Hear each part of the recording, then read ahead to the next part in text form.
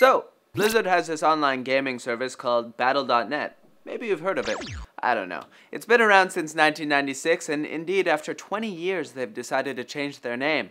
On their World of Warcraft blog, Blizzard announced that they are changing the name from Battle.net to Blizzard Tech. They say the change is motivated by confusion and inefficiencies around having two separate identities. There's been changes with things like Blizzard Streaming and Blizzard Voice, and so they want to continue these changes to bring unity under the Blizzard name. The name change to Blizzard Tech will take place in the next several months, apparently.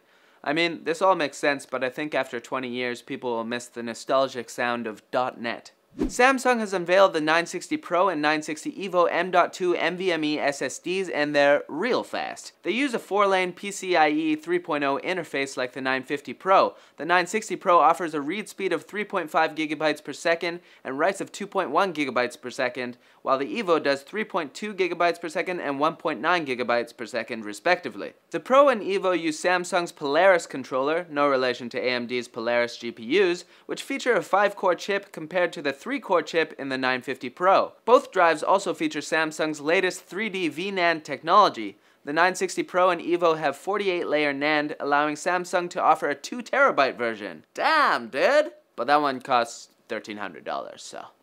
Ah, the EVO is cheaper. The Pro and EVO are set to release in October. AT&T has announced what they call Project AirGig. It's the company's plan to provide a multi-gigabyte internet connection over power lines. Only, the connection isn't carried through the power lines, but rather around them, as the power lines serve as a guide for the signal. AT&T has built low-cost plastic antennas in their lab, apparently, and the idea is to attach these antennas to power lines creating a modulated radio signal around them, which could make internet readily available whether it be in large cities or small towns all around the world. The fact that a fast connection like this could take place without the installation of new poles or anything like that sounds pretty interesting. Apparently there are a lot of unhappy AT&T customers in the States, so if the field trials starting next year go well, things are looking up from here. Do you know what time it is? Well, if not, let long-haired bear tell you. It's time for shorter news stories said more quickly than the others. Thank you, Stratty. I'm uh, I'm sorry for telling you to gouge your eye out on Twitter. Um, I'm not I'm not really too sure what came over me. If you would like to submit a video of yourself saying shorter news stories said more quickly than the others, then send us a tweet. Google Now is now just Google. Yes, they've renamed Google Cards to Feed, and now on tap is referred to as Screen Search in the newest update to the Google Search app. Also, the Google Allo Chat has just been released on Android and iOS, featuring, of course, Google Assistant and Smart Reply, which we talked about a while back. I mean, come on, I, I already use like three messaging apps, and one of those is still Hangouts, which I enjoy, so whatever, man. The Pokemon Company CEO really wants everyone to know that there will be Pokemon games on the Nintendo NX, and that it will be a sort of hybrid console redefining handheld devices as we know them. Even though Nintendo hasn't really said anything about it yet, except that it will maybe be unveiled before March.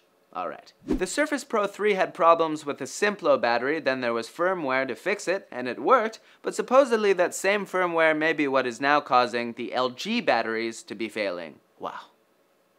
Can't catch a break. YouTube has developed a new program called YouTube Heroes in which it rewards commenters for acting as moderators and reporting bad comments, writing accurate subtitles, and answering forum questions. I trust that all of you will be participating in this new initiative.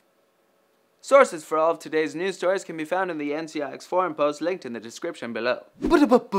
Yo tenía América, yo Río, Venus, Tierra, y luego Marte.